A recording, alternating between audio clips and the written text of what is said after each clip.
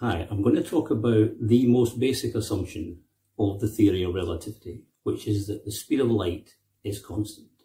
The speed of light does not depend on the observer, on the speed of the observer, or the speed of the source of light. This is the most basic assumption of the theory that Einstein addresses. I'm going to argue that this assumption isn't quite correct. It's not quite what most people take it to be and so we will have to reassess the special theory of relativity. But first, we need to look at classical relativity. Imagine a car driving along the road in a certain direction. Let's say it's moving at 100 miles an hour in that direction. Now imagine another car driving alongside. This one's doing 60 miles an hour in the same direction so the relative speed of the blue to the red will be 100 minus 60, which equals 40 miles an hour. This is from the subtraction of velocities. Now imagine the blue car again moving at 100 miles an hour and a yellow car moving in the opposite direction at 60 miles per hour. The relative speed now is 100 plus 60, which equals 160 miles per hour. This is the addition of velocities. Now imagine a train moving along the track in that direction. Velocity v.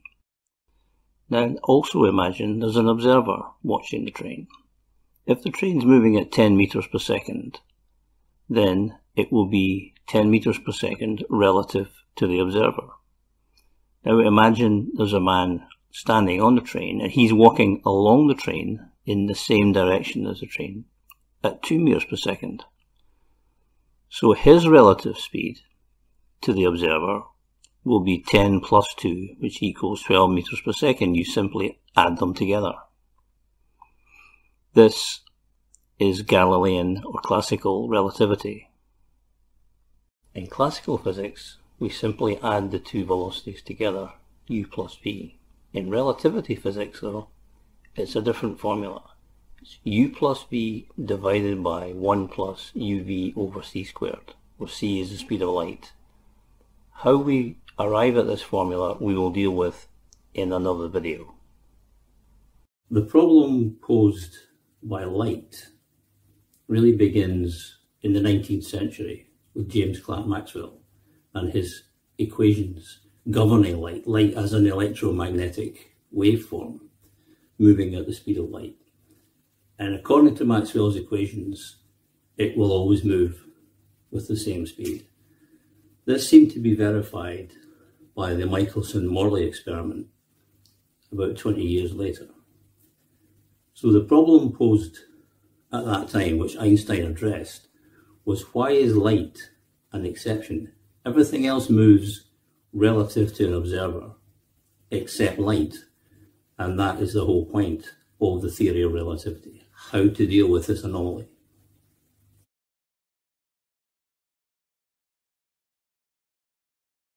So, back to the train again, moving at 10 meters per second. This time the man on the train isn't walking, but rather he's holding a torch and he shines a beam of light from the torch in the direction of the train. And of course the light travels at c. What is the relative speed of the beam of light to the observer? Is it simply the speed of the train plus c? The answer is no. It doesn't work like that in the theory of relativity.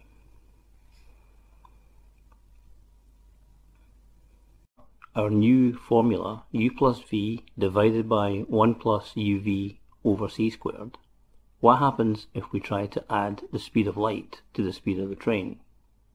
In other words, what if u equals c? The formula now becomes c plus v divided by 1 plus cv over c squared, which equals c. So you cannot add the speed of light to the speed of the train.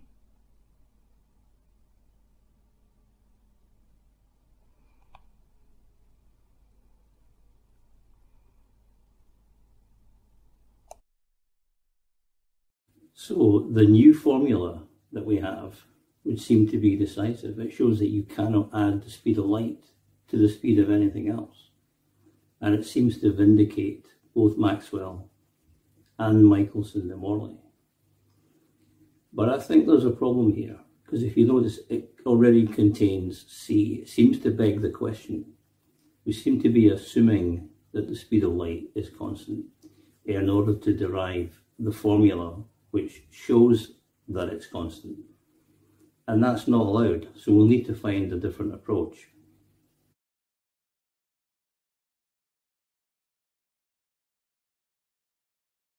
According to Einstein, and according to Maxwell and Michelson and Morley, there is something special about light, about the speed of light. It is constant. Speed of light is not relative to an observer. And I want to question this. I want to seriously question it. Why should light be special? What is so special about light? Light is a physical quantity it is part of the physical world. It interacts with the physical world. It affects the physical world. It is affected by the physical world. Why does it not just, why does it not obey the same rules as everything else?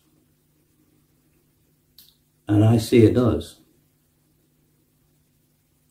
But that doesn't mean that Maxwell uh, and Michelson are necessarily wrong. So I want to distinguish between two different speeds. I want to introduce what I call the proper speed of light as opposed to the relative speed. So proper speed and relative speed are two different ways of measuring speed, not just for light. And so that's what I want to look at next. Proper speed. To illustrate what we mean by proper speed, imagine the blue car again, travelling at its top speed of 120 miles an hour. This is its maximum speed. Now there's another car coming in the opposite direction, going at 80 miles an hour. So quite simply, its relative speed to each other is 200 miles an hour. But that's greater than its top speed. How can it be greater than its maximum speed? This is because the top speed is its proper speed and does not equal its relative speed.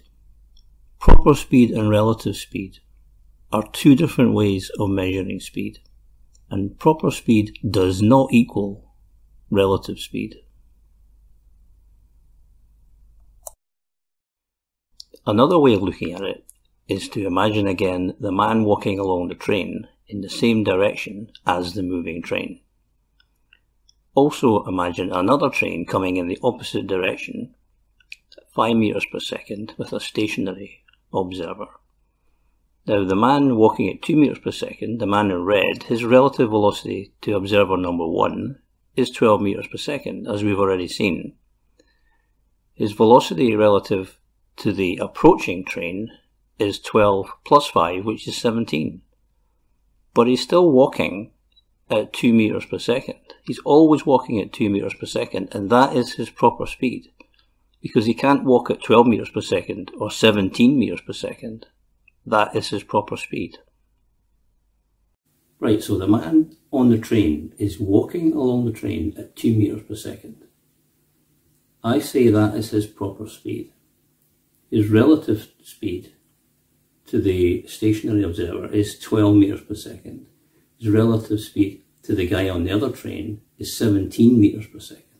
Fair enough. But he's not walking it. Nobody can walk at 12 metres per second. Nobody can walk at 17 metres per second. He walks at 2 metres per second to all observers in all frames of reference. That is his proper speed. I'm not saying it's an absolute speed, but maybe it is, but that's his proper speed. So you have to distinguish between proper speed and relative speed. The proper speed doesn't change unless he changes it. So we must make this distinction.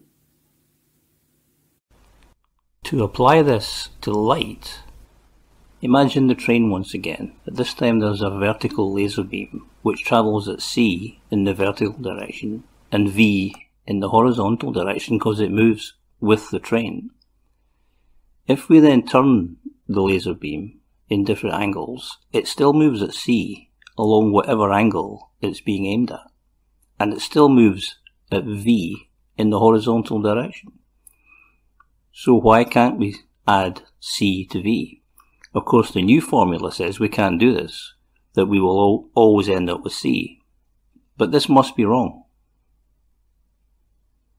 Another way to look at it is to imagine a photon being fired along inside the train as the train moves. Now that photon is moving through space, through space and time. The space itself is also moving. So why does the the photon not take on the speed of the train, the speed of the space through which it is moving. So it would seem that the photon moving along the train is really no different from the man walking along the moving train, provided we make this distinction between proper speed and relative speed. And this makes a huge difference to the special theory of relativity.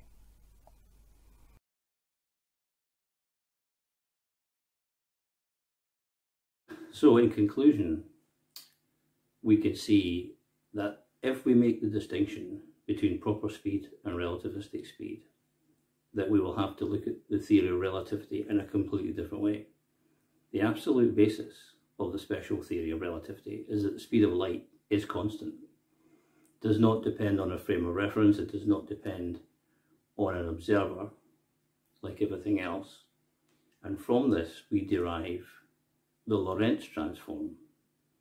And from that, we have to make a distinction between relative length and proper length, relative time, proper time, proper mass, relativistic mass, but all depending on the constancy of the speed of light.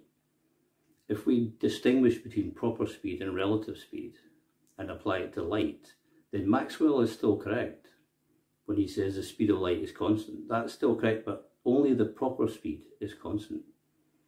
We still can have a relative speed, even for light. And that makes a completely different, total di difference to how we derive the Lorentz transform and a complete difference to how we look at the special theory of relativity. It will have to be completely revised in, in the light of this distinction.